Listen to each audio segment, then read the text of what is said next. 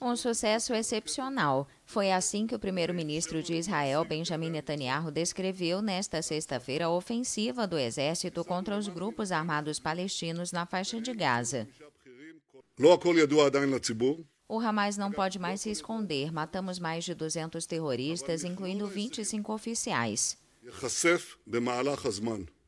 Após a mediação egípcia, Israel e o Hamas aprovaram um cessar-fogo na noite de quinta-feira, que entrou em vigor nesta sexta. O ministro da Defesa israelense Benny Gantz fez um alerta ao movimento islâmico que governa o enclave palestino.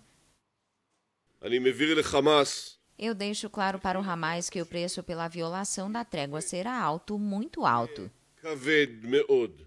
Os confrontos resultaram em pelo menos 243 mortes no lado palestino, incluindo 66 crianças e vários combatentes do Hamas e da Jihad Islâmica. Do lado israelense, 12 pessoas morreram, incluindo um adolescente de 16 anos e um soldado.